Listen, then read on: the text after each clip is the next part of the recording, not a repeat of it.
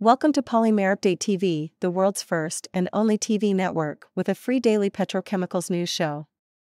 If you enjoy watching the video, at the end of today's daily news report, may I please request you to subscribe and to click on the bell icon. Also, do remember to like this video by giving us a thumbs up.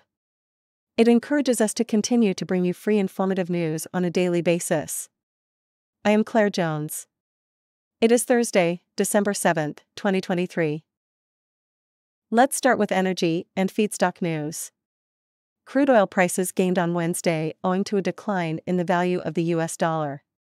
Attacks by gunmen on a commercial oil tanker in the Red Sea off the Yemeni coast raised fears of disruptions to oil supplies through the key maritime channel, pushing prices higher. Brent crude prices rose by $1.02, settling at $74.26 per barrel, while WTI futures increased by 0.86 cents, settling at $69.47 per barrel. On Wednesday, open spec naphtha prices fell by $13 per metric ton at the $651 per metric ton CFR Far East Asia levels. On Wednesday, propylene prices decreased on account of bearish regional demand trends and sufficient product avails in Europe. Spot polymer grade propylene prices on Wednesday were assessed at the 765 to 775 euros per metric ton FD NWE levels, a fall of 5 euros per metric ton from Tuesday. CIF NWE propylene prices on Wednesday were assessed at the 760 to 770 euros per metric ton levels, a drop of 5 euros per metric ton from Tuesday's assessed levels. On Wednesday, ethylene prices were assessed flat in Europe. On Wednesday, ethylene and propylene prices were assessed stable in Asia. On Wednesday, ethylene and propylene prices quoted flat in the United States. Back to our news. Let's take a look at futures on China Dalian Commodity Exchange for today.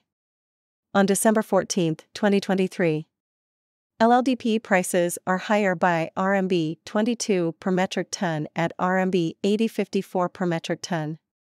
PP prices are down by RMB 8 per metric ton at RMB 7440 per metric ton. PVC prices are up by RMB 14 per metric ton at RMB 5855 per metric ton.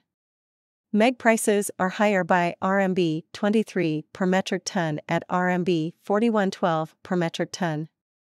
In plant news, CNOOC and Shell Petrochemicals Company Limited, CSPC, has restarted its number 2 cracker in mid-December 2023 following a turnaround. The cracker was shut for maintenance around end October 2023.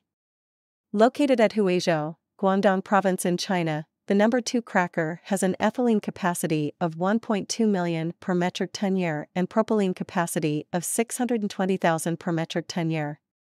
That's all for today's polymer news. Watch our daily news video tomorrow to know more. This is Polymer Update with me, Claire Jones, from Polymer Update's virtual world. Many thanks for watching.